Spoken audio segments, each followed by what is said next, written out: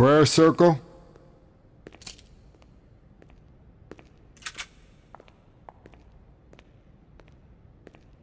Not a bad idea. You're gonna need some divine intervention. What do you want? It ain't what I want, it's what you need. And right now, you need the best wheelman you can find. For what? You got something big going down. I've got my driver. You really think Felipe is ready for this? You better get busy with those Hail Marys.